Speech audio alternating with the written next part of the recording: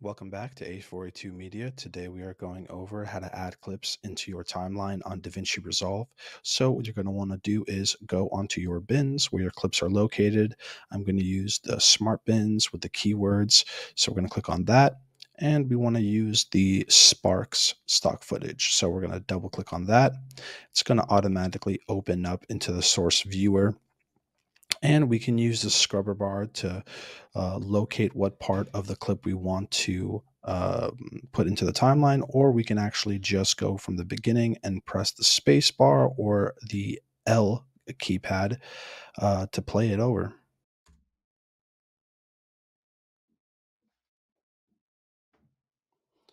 Now I want to bring this clip into the timeline and there are several ways you can do this.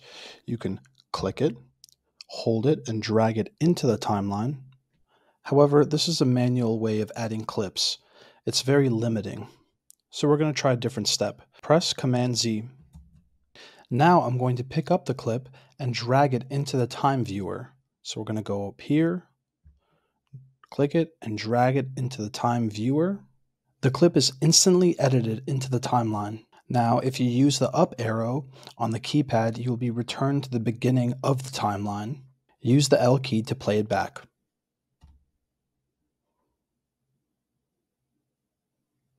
Now, let's cut the clip where we want it to end. So let's click the detailed zoom button, which is right over here. So now we can get a closer look at the timeline. You can use the J and L keys to move backwards and forwards. Find the specific point you want the clip to end. This is a good place to cut the clip. So now I'm going to click the full extent zoom button, which is right over here, which will bring me back to the normal view of the full timeline. Now the playhead is where I want it to be to make that cut. We're going to go to the source view right over here, and we're going to double click this clip. We're going to play it through. So up key, play. YouTube, what it's looking at is click through rate, how many people click on your video if it appears on their screen. If you've ever been on YouTube, you scroll past all those videos, well, you're decreasing the click through rate. Any frame that comes onto your screen is an impression, and a click through rate is the percentage of people that then click on your video. Once so now I'm going to show you guys a tool that's very helpful in your workflow to make these cuts. We're going to go up to the source viewer and we're going to click these three little dots right here. We're going to go down to Show Zoom Audio Waveform. Now you can scrub through the clip and see all the audio associated with that clip. So now we're going to play the clip through so that we can find the in and out point of the clip we want to add to the timeline. So to move forward and backwards on this clip, you're going to press J to move backwards, L to move forwards, and then you can also hold K and then press L to keep moving forward, but in little pieces instead of just moving forward all the way. So, for example, if I press play, YouTube, what it's looking at is click through rate, how many people click on your video, hold K, and you can move L by pressing it like this, J, while holding K. So we're going to go back. We're going to press I for in point because we want the clip to start there.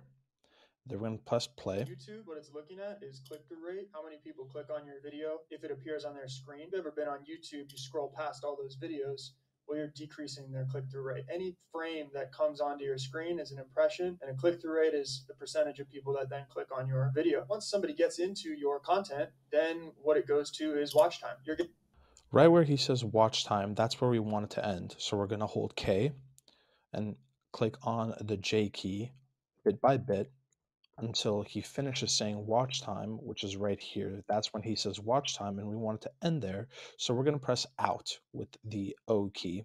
Now that I have my new clip ready for the timeline, I'm going to use it to overwrite and edit into the timeline right here where my player head is at so that this clip will begin where the player head ends. So to do that, I can click and drag and drop this clip into the timeline viewer or a faster way of doing it is going down right above the timeline and click on Overwrite Clip.